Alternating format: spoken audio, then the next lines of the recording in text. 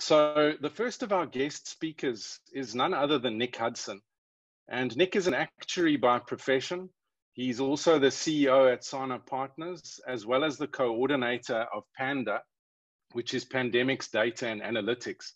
Now, Nick has been quite outspoken about the stats relating to COVID 19, and we welcome him here today to share his insights. Over to you, Nick. Thank you very much, Simon and team, and uh, very good morning to you all on this 130th or whatever day of lockdown. I have lost count.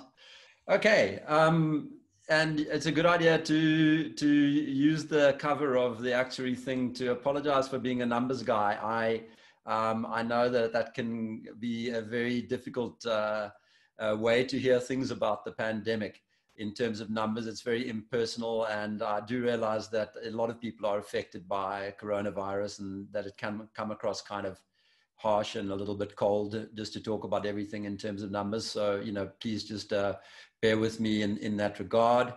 And then also, I'd just like to point out I, am I've been doing a hell of a lot of presentations and podcasts in the last month in connection with all of this, the last two months really and um, I'm used to presenting for like an hour and a half. So I'm squeezing quite a bit of material down into a shorter space. And one of the consequences of that is that you will hear me say a hell of a lot of decisive things.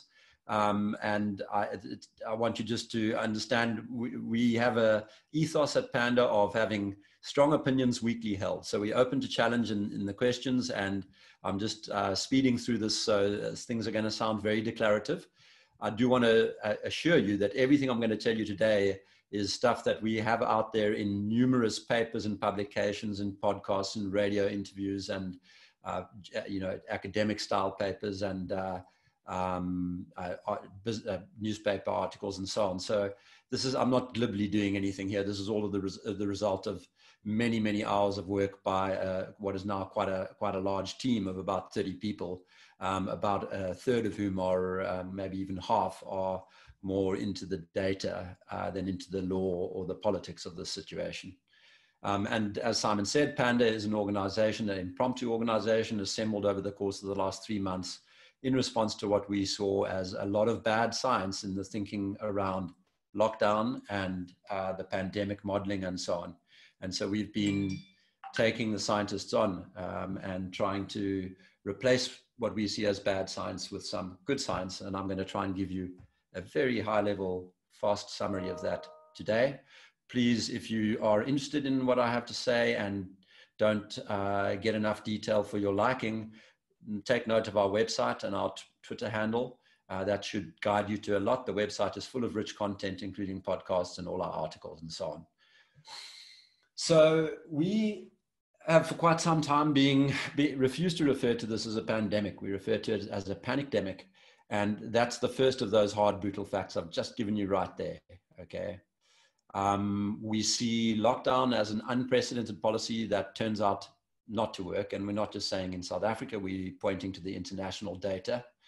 Um, there's a lot of bad science going around from the epidemiologists and virologists and immunologists, uh, others who should know better what I will assure you is it's not all of them. There's a minority of voices that are really not being held or really not being heard all around the world, um, and with whom we are in contact. Um, it's almost like a you know a parallel universe where uh, rationality prevails and um, panic is left in a corner.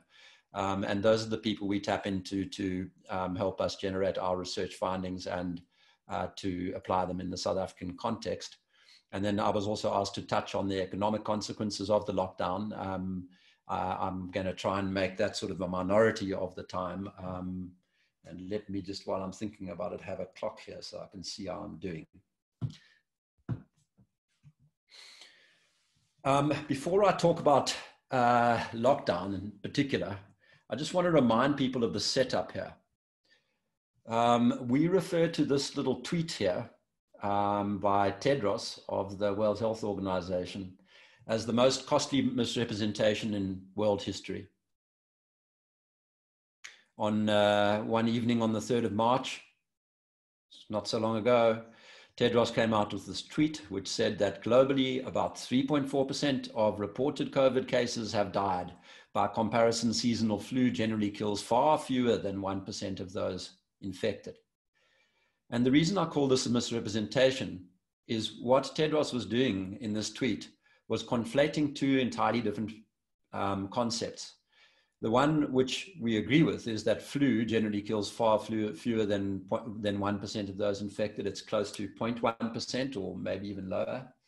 Um, so we agree with that part. That is what you call the infection fatality rate of flu.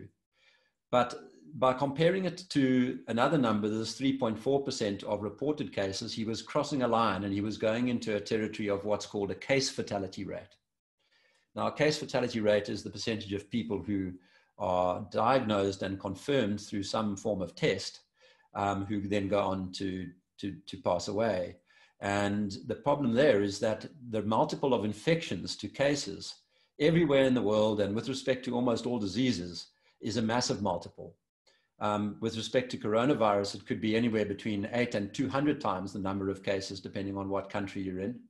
And the reason for that is the vast majority of people who are infected by this virus um, either have very uh, have totally asymptomatic disease courses or only generate very mild symptoms. And so they're not going to rock up at a hospital or a doctor or go for a test. And whereas the people who do go for a test are your more seriously ill people. And of course, if that's the starting point, not the infection infected group, but the seriously ill group, then this number is much higher. And by failing to clarify that and never ever actually walking this statement back, what Tedros did was set off a panic. Helped along, of course, by media and by the situations that were emerging in China and the Diamond Princess and Northern Italy. But what's actually emerged is that the, the infection fatality rate for this disease, if you look at it, you know, I'm speaking broadly on a global basis, is actually more or less in line with the flu, 0.1%. And the mortality numbers on a population level are also more or less in line with the flu. What's different? Well, this disease comes in a much sharper wave, it looks like, than the flu, or it's actually not much sharper, slightly sharper wave than the flu. And I must remind you that the flu is an annual story. Uh, every single year, you have uh, in South Africa around 10, 12,000 people in a, in a normal year who, who will die from the flu. And according to our analysis, that's more or less what we expect will be the mortality rate, the population mortality rate here in South Africa. So that was very much in our minds ground zero in this whole story.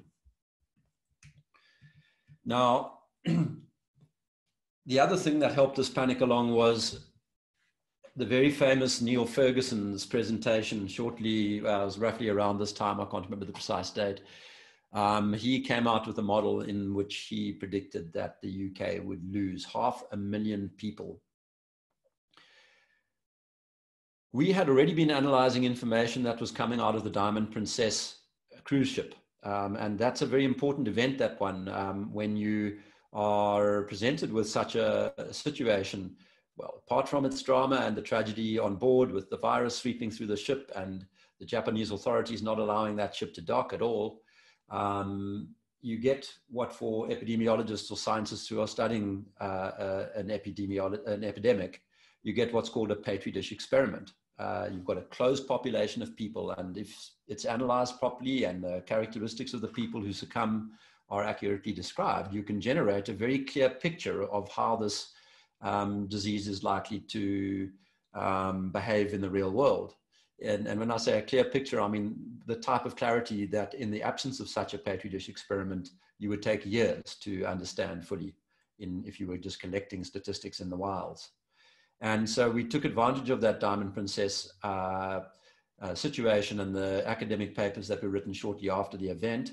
And we used that to come up with a set of numbers, which we called the Diamond Princess numbers. And they were simple calculations, just applying the fatality rates by age on that boat to the rest of the world's countries.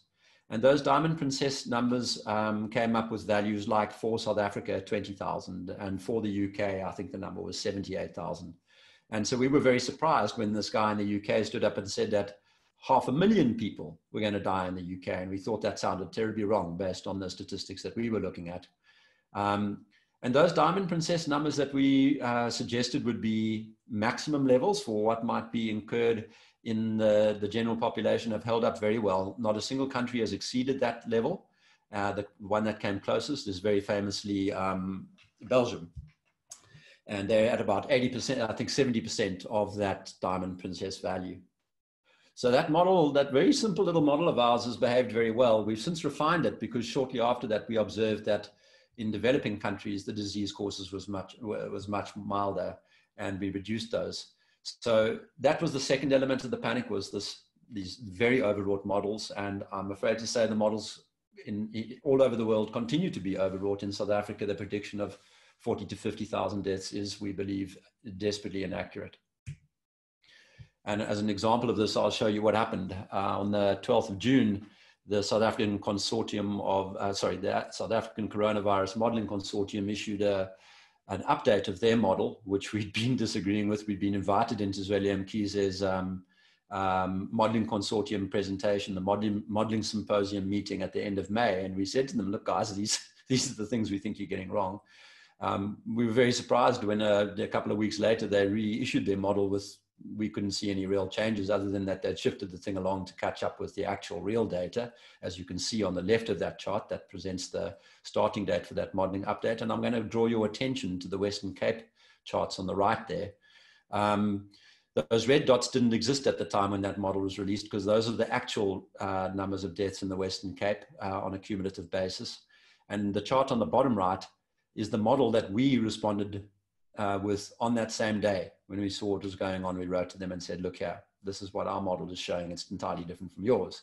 And we predicted on that day that their model would blow through its lowest confidence interval, which as you can see from the chart on the top right, was extremely wide and we said it would go through its lowest confidence interval on the 13th of July.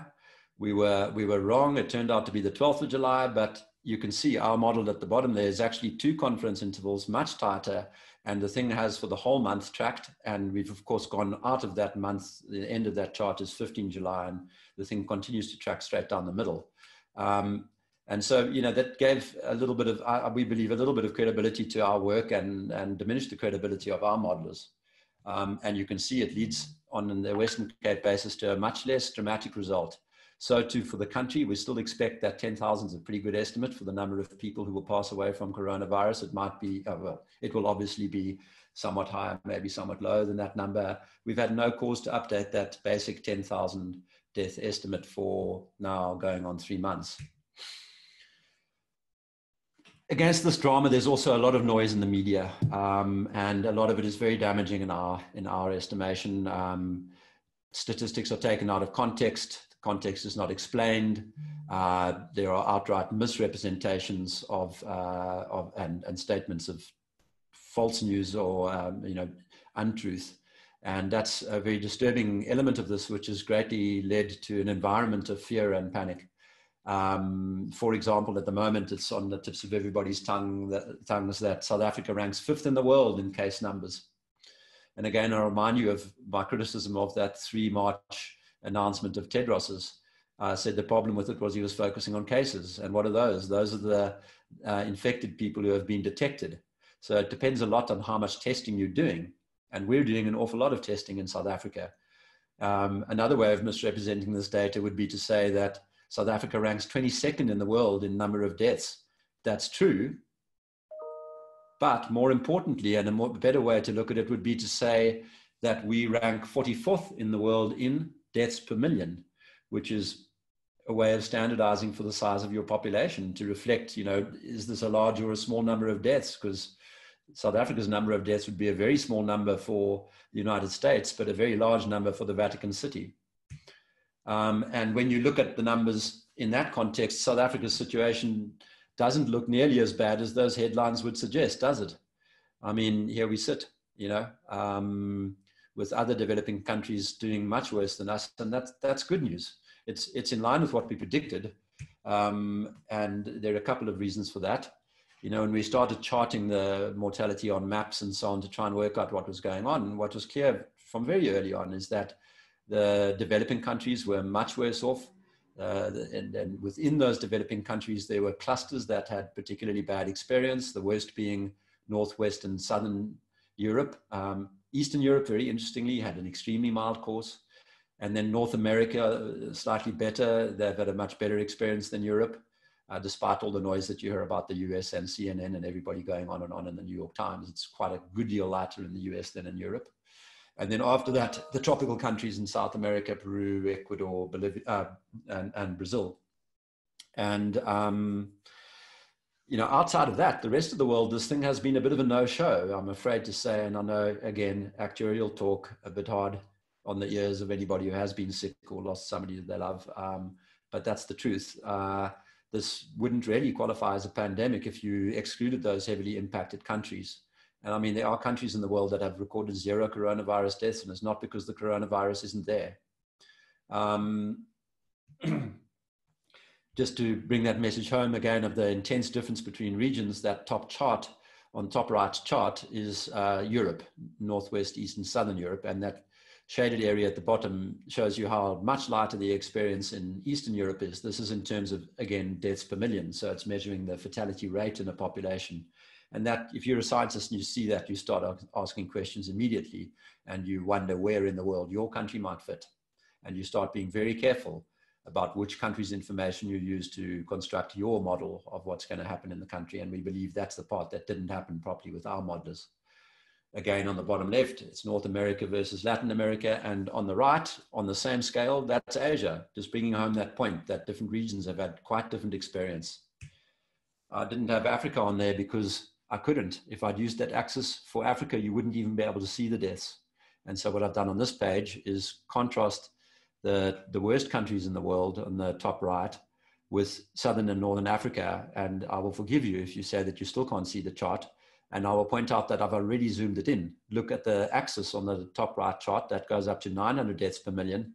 And the axis on the bottom right chart goes up to 350. So I've already zoomed in and you can still barely see the impact of this disease.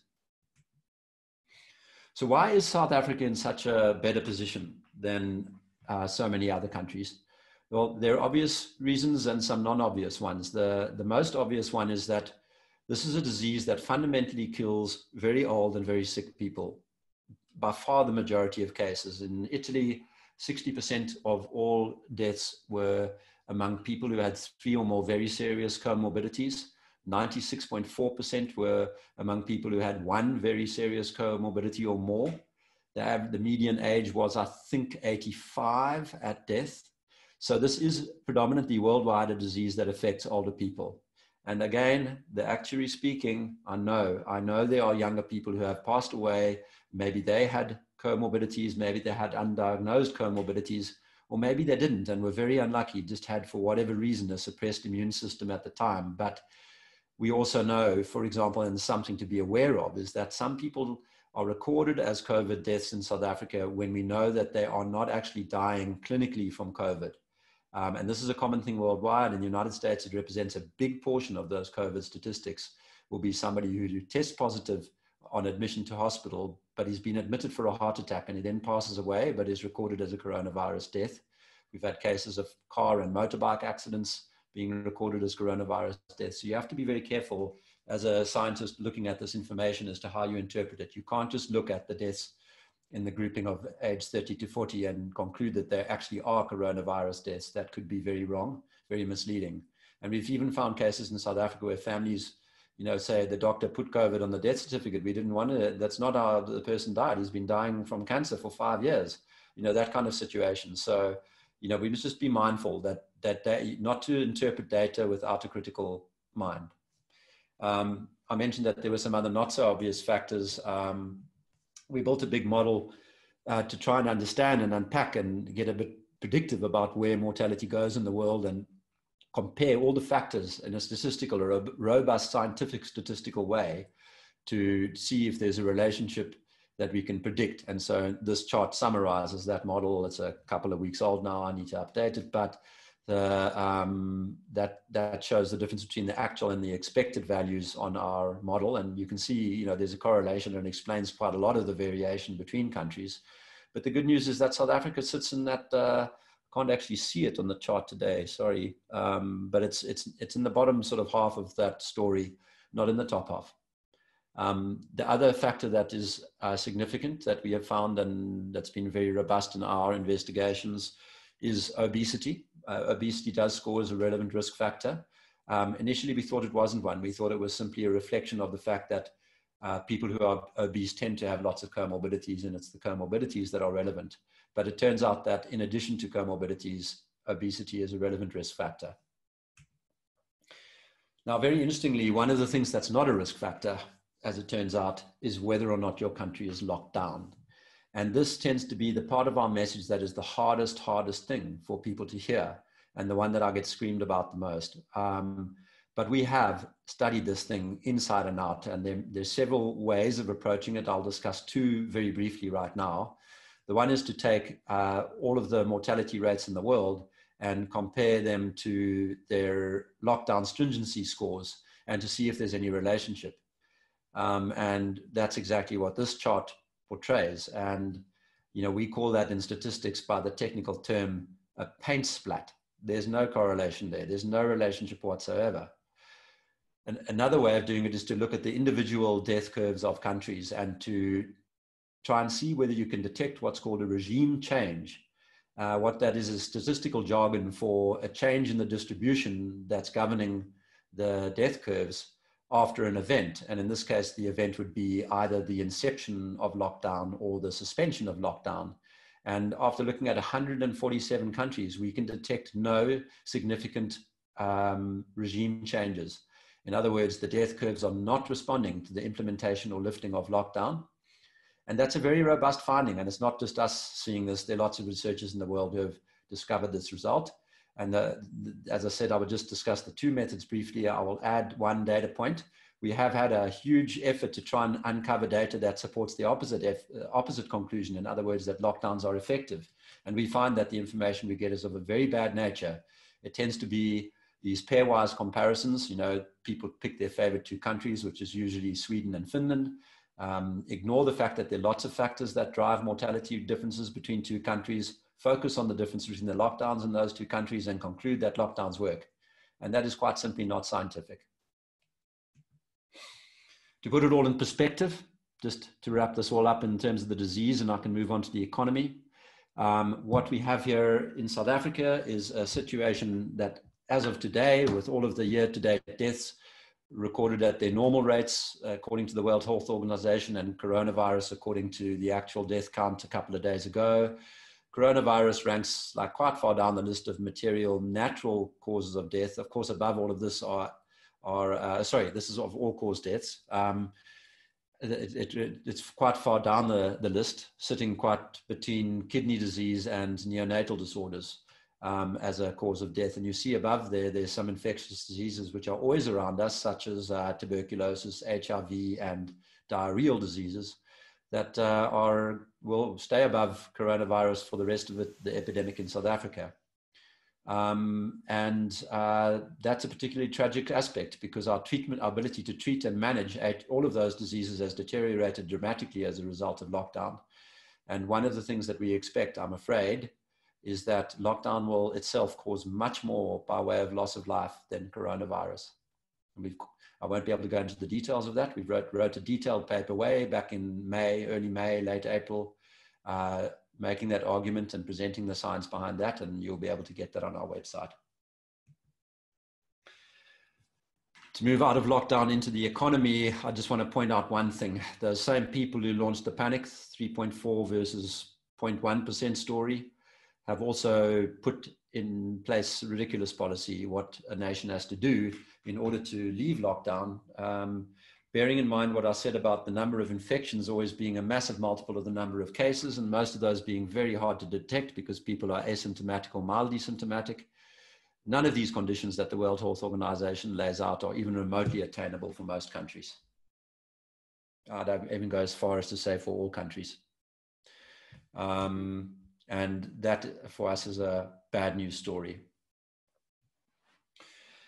Moving on to the economic consequences, um, there's a there's a very bad piece of thinking which I would also describe as bad science, even though I'm one of these people who's hesitant to call economics a science. I'm dry and boring in this regard, but uh, it's a humanity, and um, economic numbers can easily be distorted, and they regularly are when people talk about the impact of lockdown. There's a, a, a very bad idea going around that no, no, look, the lockdown didn't make a difference. The real impact was the virus, and you know, in terms of the economic impact, whether or not we've had, we had uh, a lockdown, we would have had a bad economy. So stop going on about how the lockdown causes the economy to tank. Um, I would ask you just to approach this from a man in the street point of view, because I think that's the most powerful perspective, and to consider the question whether it doesn't make a huge difference to a company out there to have its revenues go down a bit because uh, people are not getting out about as much and don't have as much money to spend versus having its revenues turned off. Um, I think most people find it readily accessible that the latter is a much worse situation than the former. And when you get past the nonsense headlines in the New York Times and these horrible media outlets who have been fear, fearmongering, scaremongering, and sowing panic amongst the world's population, um, and you get to the real data, this is the kind of thing you see where the relationship between GDP movements and uh, the lockdown stringency is this sharply downward line. The harder you lock down, the worse the economy does. Bear in mind what I mentioned earlier economic results mediate livelihoods and livelihoods mediate life. When the economy goes down, people die because of it. And that is going to happen. I'm afraid in South Africa, we expect a, a rising mortality rate starting now, few weeks ago, as the real depth of the poverty that is caused by the lockdown starts to bite. And we have an increase in infectious disease mortality and uh, diseases of despair, uh, plus the lockdown primary causes of um, absent cancer testing, tuberculosis and HIV management programs that have been you know, run into dereliction and so on. So we fully expect this and we think it's too late to do anything about it other than to lessen further effect by ending the lockdown now. Another chart that brings this home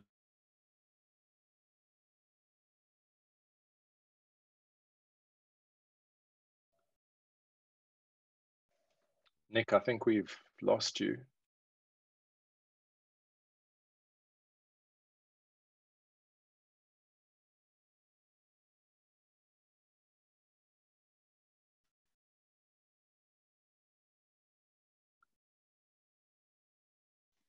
Hi everyone. I think we're having a problem. I think we're having a problem with uh, with Nick's uh, signal there, or maybe you got hit with some unexpected load shedding um, which is unfortunate. I'm going to keep talking while he's uh, trying to get back on because I think you'll agree this is fascinating and and hugely interesting. Um, certainly different to to a lot of what we've been seeing in the in the media, um, and and I think it is important. Um, whilst we're obviously all focused on on not breaking the law and following the the lockdown rules, and we're committed to that. Nick, are you back with us? Yeah, I'm back with you. Sorry, I had a power failure. Okay, I thought so. the other thing that uh, is probably more problematic than Corona. Um, anyway, back to you, Nick. You're gonna if you if Eskom's gonna shut me down, might as well have been on the the thank you page. Um, uh, are you seeing the presentation still? Um, there's no point really not, sharing. Not yet, Nick. Just wanted to conclude with a few remarks. Um, so let me just check that I didn't miss anything. No. Okay.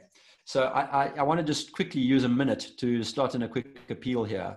First of all, I again, remind you, uh, I've never presented to an audience on this kind of topic in such a short period of time. And I, I totally accept it if this is sounding like just scandalous, scandalously against the spirit of the times.